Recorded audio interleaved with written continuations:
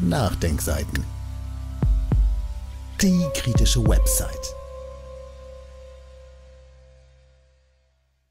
Kein Anschluss unter dieser Nummer. Der Ostdeutsche soll immer aufs Neue beitreten. Eine Buchbesprechung von Irmtraut Kutschke. Dirk Oschmann schreibt in seinem Buch Der Osten, eine westdeutsche Erfindung über das anhaltende Missverständnis zwischen Ost und West. Eine befreiende Lektüre, aber auch schmerzhaft. Denn Stück für Stück fallen einem diverse Diskriminierungen ein, die man schweigend über sich ergehen ließ und verdrängte. Dirk Oschmann verschafft Menschen im Osten Genugtuung und kann Bürgern im Westen beim Verständnis helfen. Zehn Auflagen in nur drei Monaten. Die Resonanz von Dirk Oschmanns Buch ist riesig. Im Titel steckt, absichtsvoll wohl, eine Irritation. Der Osten, eine westdeutsche Erfindung. Wie könnte eine Himmelsrichtung erfunden sein? In dem Sinne, dass sich mit der Bezeichnung Osten bei vielen negative Zuschreibungen verbinden, die sich nach dem Zweiten Weltkrieg ungebrochen fortgesetzt haben. Die BRD sah sich als Deutschland, die DDR war die Ostzone rückständig und grau. Blühende Landschaften. Während Helmut Kohl derlei Versprechen machte, haben westdeutsche Beamte zur Entschädigung eine Buschzulage bekommen, wenn sie sich nach dem Beitritt der DDR zur BRD in die hiesige Wildnis wagten. Koloniales Gedankengut lässt grüßen. Wiedervereinigung. Das war es eben nicht. Es ist ein Beitritt gewesen, bei dem die Ostdeutschen nie gleichberechtigt waren. Sie blieben die armen Verwandten. Dass es der Bundesrepublik damals schon aus demokratietheoretischen und symbolischen Erwägungen gut angestanden hätte, Zitat, sich eine neue gemeinsame Verfassung zu geben und eine neue gemeinsame Hymne, statt die von den ersten beiden Strophen chauvinistisch verseuchte beizubehalten, Zitat Ende. Dazu möchte man Dirk Oschmann Beifall spenden. Und weiter. Der Westen hat aber gedacht, er müsse sich nicht ändern und könne einfach Westen bleiben, während zugleich der Osten natürlich Westen werden sollte, obwohl im selben Moment alles dafür getan wurde, ihn erst eigentlich zum Osten zu machen. Das sei zweifellos ein kapitaler Irrtum und ein schwerer Geburtsfehler gewesen. Aber eigentlich war es doch Absicht, oder? Die deutsch-deutsche Grenze markierte 40 Jahre lang den Zusammenprall zweier politischer Systeme, die sich in einem kalten Krieg befanden. Deutschland wurde infolge des Zweiten Weltkrieges geteilt in eine westliche und eine östliche Einflusssphäre. Die BRD hing am Gängelband der USA und die DDR gehörte zum sowjetischen Imperium, bis dieses von Mikhail Gorbatschow aufgelöst wurde. Aus wirtschaftlicher Not, aus der er eine Tugend zu machen gedachte. Es war sein Traum, unter den Kalten Krieg einen Schlussstrich zu ziehen, die lebensgefährliche Konfrontation durch Atomwaffen auf beiden Seiten zu beenden und ein gemeinsames europäisches Haus zu bauen, von Lissabon bis Wladiwostok. Die Charta von Paris ist am 21. November 1990 als Schlussdokument der KSZE-Sondergipfelkonferenz von 32 europäischen Ländern sowie den USA und Kanada unterschrieben worden. Eine Sicherheitsordnung in Europa, wer darauf hoffte, wurde getäuscht. Der Zerfall der UdSSR wurde jenseits des Atlantiks als Sieg begriffen, als Chance, die eigene Macht auszudehnen. Eine europäische Friedensordnung unter Einschluss Russlands war nicht im US-Interesse. Es sei an Francis Fukuyamas These vom Ende der Geschichte erinnert.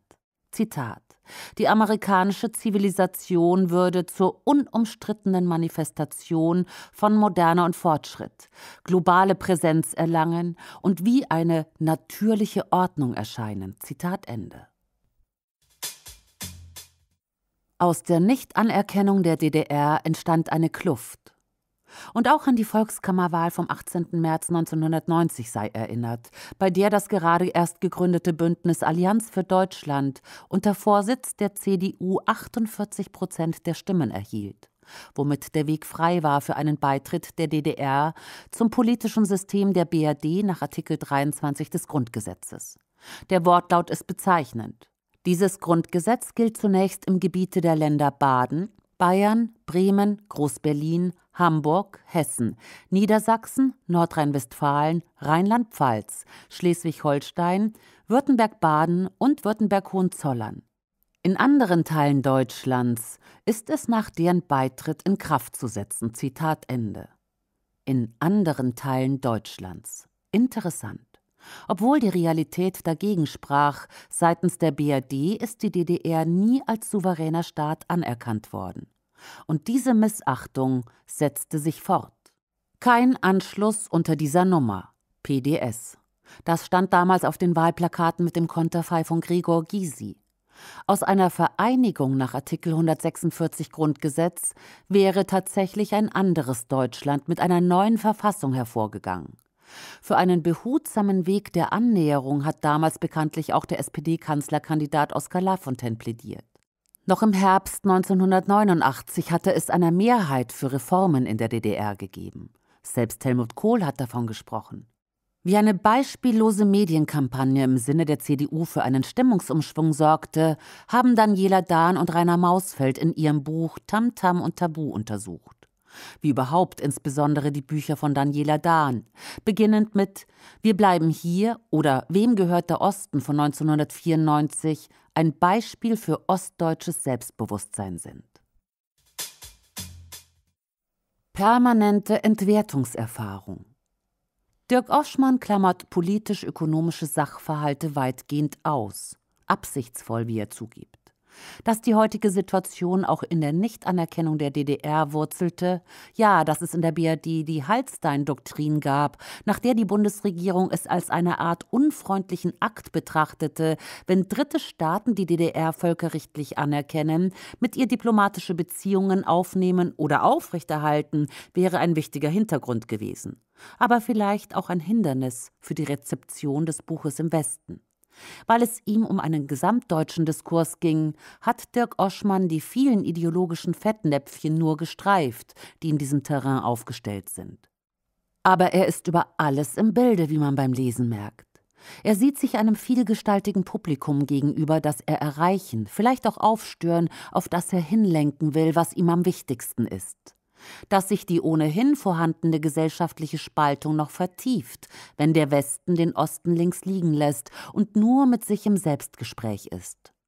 So polemisch seine Ausführungen sind, können sie nicht einfach zurückgewiesen werden. Unter dem Hinweis eines undifferenzierten Befundes wurde das natürlich in Rezensionen versucht.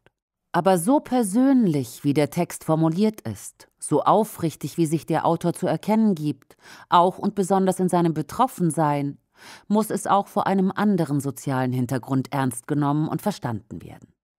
Dirk Oschmann, 1967 in Gotha geboren, ist Professor für neuere deutsche Literatur an der Universität Leipzig, also einer der ganz wenigen Ostprofessoren, die es in Deutschland gibt. Es ist ihm klar, Wäre er nur zehn Jahre früher geboren, hätte er sein Studium in Jena und nicht in den USA fortsetzen können, was ihm für seine Berufung zugute kam. Die Erfahrung, dennoch in der Rolle eines Role Models aus dem Osten zu sein, brachte ihn zu dem Artikel Wie sich der Westen den Osten erfindet, der veröffentlicht wurde in der FAZ am 4. Februar 2022. Den Reaktionen darauf ist im Buch ein ganzes Kapitel gewidmet. Es ist ein, wie gesagt, großer Vorzug des Textes, dass aus solcher persönlicher Verletzung entstand und in der Person des Autors eine Unangreifbarkeit behält. In gewisser Weise kann er an jene identitätspolitische Debatte anknüpfen, die in den Medien und in vielen Köpfen bereits verankert ist wenn er von einer andauernden, derzeit sogar noch wachsenden Stigmatisierung spricht, die sich mit einer Herkunft aus dem Osten verbindet, einer permanenten Entwertungserfahrung, zieht er indes keine simplen Parallelen. Zitat der bestehende Ost-West-Konflikt ist nicht einfach ein weiterer Teil der gesamtgesellschaftlich geführten Ungleichheitsdebatte über Race, Class, Gender and Age. Befördert durch die klaren geografischen und vermeintlich ebenso klaren historischen Konturen ist hier eine soziale, ökonomische und diskursive Ungleichheit entstanden, die als Herkunft, mithin als Place, zu allen anderen ohnehin bestehenden Ungleichheiten hinzukommt. Anders gesagt, eine Herkunft aus dem Osten verschärft die allgemeine Herkunftsbenachteiligung der sozial Schwachen und mindert die Lebenschancen erheblich. Zitat Ende. Ein Geschwür, das dauerhaft Schmerzen bereitet. Von der Geographical Pay Gap ist die Rede, Lohnunterschiede von 22,4 Prozent bei vergleichbarer Tätigkeit. Und davon, wie vielen Ostdeutschen zu Beginn der 90er Jahre der Boden unter den Füßen komplett weggezogen wurde, weil sie ihre Arbeit, ihre Grundstücke, ihr Weltvertrauen verloren haben. Bezeichnend ist doch, dass der Anteil Ostdeutscher in Spitzenpositionen auch heute nur 1,7 Prozent beträgt wobei ja nicht sicher ist, ob das sich hocharbeiten müssen nicht umso mehr Anpassung erzeugt, wie ich es meine.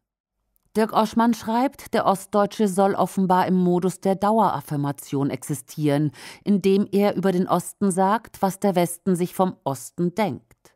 Er soll immer wieder aufs Neue beitreten, was heißt, der geltenden Norm beizupflichten, sie vollumfänglich anzuerkennen und sich ihrer letztlich unterzuordnen. Soweit Dirk Oschmann.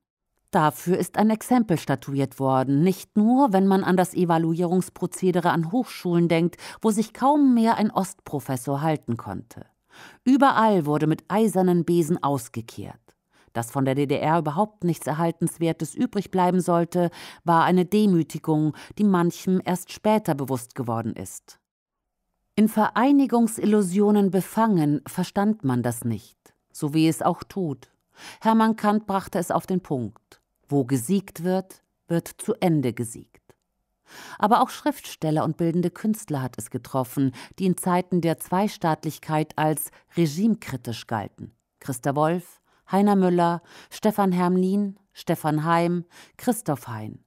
Bilder wurden abgehängt und ins Depot verfrachtet. Der sogenannte Bilderstreit gipfelte in der Gleichsetzung von DDR-Kunst mit der aus dem Dritten Reich. Ein ganzes Kapitel widmet Dirk Oschmann dieser Fortführung des Kalten Krieges mit anderen Mitteln. Da wird aus einem Artikel von Ulrich Greiner vom 2. November 1990 in der Zeit zitiert. Es geht um die Deutung der literarischen Vergangenheit und um die Durchsetzung einer Lesart. Das ist keine akademische Frage. Wer bestimmt, was gewesen ist, der bestimmt auch, was sein wird. Zitat Ende. Klarer kann es nicht ausgedrückt werden. Wer bestimmt? Das ist die Frage, auf die sich Dirk Oschmann konzentriert.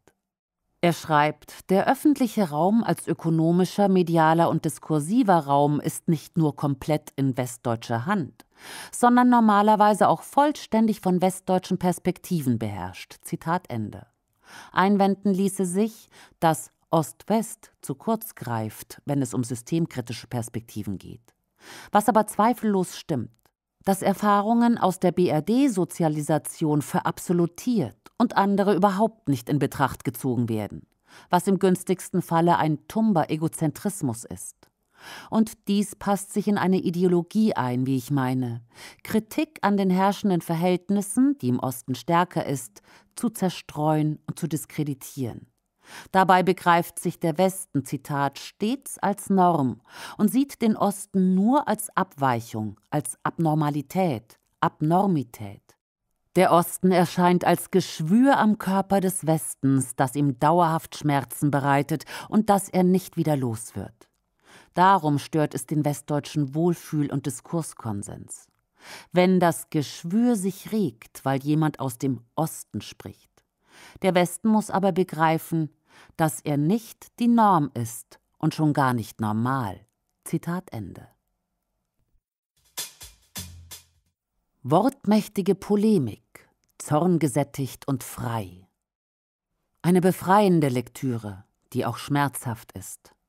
Eine Hellsichtigkeit setzt ein, Erinnerungen kommen hoch, denn Stück für Stück fallen eine diverse Diskriminierungen ein, die man schweigend über sich ergehen ließ und verdrängte, Anpassungsleistungen, die man für normal hielt. Dirk Oschmann verschafft Menschen im Osten Genugtuung und hilft denen im Westen, die sich ein demokratisches Miteinander wünschen und nicht verstehen, warum das so schwierig ist. Verstehen. Dirk Oschmann schreibt, noch immer wird der Osten als homogenes Gebilde ohne regionale Eigenheiten gefasst, förmlich als Block, den man 1990 zwar verschluckt, aber immer noch nicht verdaut hat, ja an dem man immer noch wirkt, weil die westdeutsche Peristaltik auf so eine Mahlzeit mit Nebenwirkungen nicht vorbereitet war. Zitat Ende. Wortmächtige Polemik. Denn ich sage ja nichts Neues, heißt es gegen Schluss, aber ich sage es hoffentlich anders zorngesättigt und frei. Ein solches Reden halte ich in einer freien Gesellschaft für angemessen, vor allem in einer Gesellschaft, die immerfort das Wort Freiheit als größten Wert im Munde führt. Zitat Ende. Unser Buchtipp Dirk Oschmann Der Osten, eine westdeutsche Erfindung. Erschienen bei Ulstein, 222 Seiten gebunden. Eine Buchvorstellung und Gespräch mit Dirk Oschmann findet am 12. Juni um 18 Uhr am Franz-Mehring-Platz 1 in Berlin statt. Quellenangaben und weiterführende Verlinkungen finden Sie im Text auf www.nachdenkseiten.de oder im Beschreibungstext unter dem YouTube-Podcast. Dieses Audio konnte nur entstehen, weil zahlreiche Leser und Leserinnen die Nachdenkseiten fördern und durch Spenden unterstützen.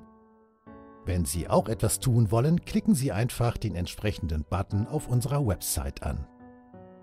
Übrigens, Sie können uns auch bei iTunes, SoundCloud und YouTube hören und wenn Sie mögen, gerne unseren Kanal abonnieren und eine positive Bewertung für uns abgeben. Wir freuen uns über Ihre Unterstützung und die Weiterverbreitung unserer Inhalte.